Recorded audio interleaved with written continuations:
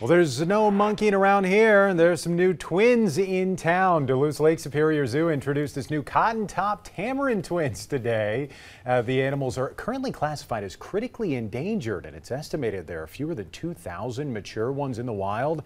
So these babies are a big deal for the zoo and the animals' conservation efforts. Zoo leaders say they're doing their best to care for these babies, especially since cotton top tamarins have a 50-50 mortality rate. But these babies are doing great so far. A sign of a healthy tamarin baby is a curly Q tail. Uh, so when we would go and check on the babies, uh, we would check to make sure their tails are curly, they're gripping really strongly onto the tamarins' backs, because you can probably notice the tamarins fly all over their exhibit.